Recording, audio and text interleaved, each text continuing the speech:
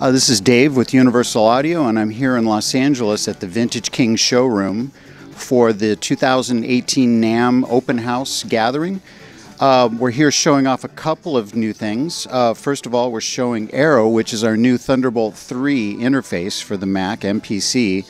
Um, we've also got some of our latest plugins running on this machine over here with the Apollo. And the thing that's always fun is coming to this showroom because you guys have so much of the analog gear that we've modeled. Being able to open it and let people play around with it is always a lot of fun. So we enjoy being here a lot. Um, also, too, we've got Ox, which is our other brand new product, um, which is the amp top box.